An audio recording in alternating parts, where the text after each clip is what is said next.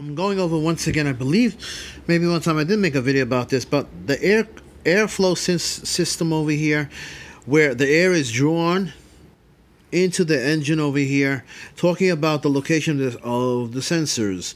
I believe maybe I made a video about this about one time, but anyway, airflow is through here into the intake chamber of intake manifold of the um, engine over here.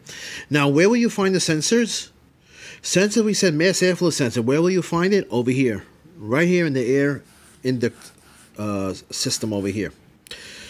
Intake air temperature sensor. Knowing the temperature of the air also, you will find it over here. Okay, this is a vane airflow meter. Today we have a mass airflow sensor. Same thing. But anyway, you find it over here. Where do you have something that the throttle throttle position sensor? You'll find on the throttle body, which is right over here.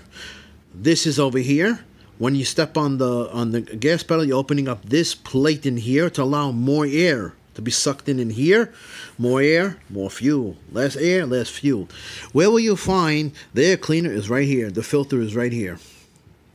Okay, this gets dirty, you're gonna have problems. Mass airflow sensor, you're gonna have problems with the air fuel ratio.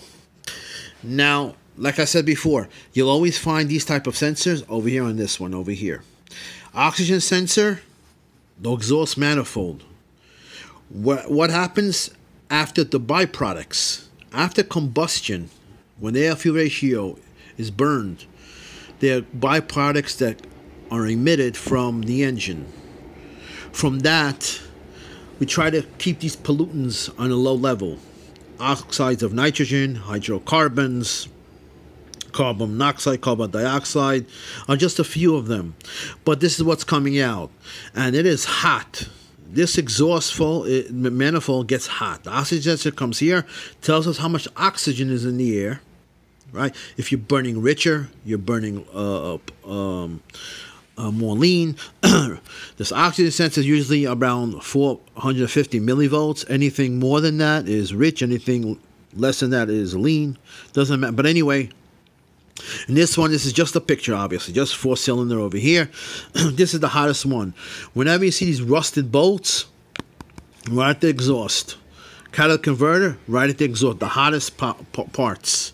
It is hard to get these bolts out. Get get ready to get the torch out. But anyway, um, I just hope that you understand where to find these sensors. Okay, so it doesn't matter what system it is, whatever it is. The exhaust comes out the exhaust has to be oxygen. How many oxygen sensors depends on the make them on. Let them be four, let them be six. Doesn't matter to me. They all do the same. They all have the same purpose. How much oxygen is coming out of that uh, uh, uh engine or catalytic converter, and then we adjust the air fuel ratio according to either more fuel or less fuel. That's his. That's the job. Mass airflow sensor doesn't matter what make or model. How much air is going through? How much are we opening up the throttle? The temperature of the air. The coolant temperature sensor. What's the temperature of the coolant temperature uh, in the engine? Right? Is the engine hot? Is the engine cold?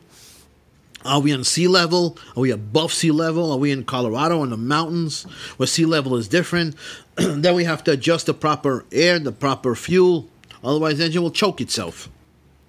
So, these sensors are always inputs. Remember that. Inputs to where? Is it the BCM or ECM or PCM? It's the ECM and the PCM. What is BCM? Controls accessories. Like I'm going to go over schematic. When the, you have problems with the lights, it could be a relay, or, when, or it could be we have a problem with all the lights, the parking, the headlamps, the front, the back. It's obvious it's just not one bulb. Could be a relay, could be the body control module. So anyway, I hope you enjoyed these videos. Go to my uh, um, channel, Joe Electronic Schematics for Auto. Well, hopefully I can show you more pictorial pictures. I think they're much more visual much more easier to understand than sometimes seeing a schematic. Schematic is also good, obviously, you have to troubleshoot, but I think this gives you an overview when let's say this you open this up the filter is in here. Obviously you have to change it in every 20,000 miles whatever it is the filter. Anyway just like the oil filter you have to change. Just like the uh, uh, fuel filter. But remember that thing that I told you in the other video about the oil? Because the one customers complained to me saying that oh she went to the gas station for full service and they told her she was low on on, uh, on oil. Like i just mentioned before i think it bears repeating. Make sure when you check your oil your engine is off at least a couple of minutes wait until it goes back to the oil pan. The trick of the trade was to go and to do it when it's idling or when you have the car on and then he'll tell you oh you know what? You're quarter down. I have to give you a quart of oil. No that's because the oil didn't have a chance to go back into the pan like i just explained before. So just try not to fall for these tricks. Anyway thanks for watching. Bye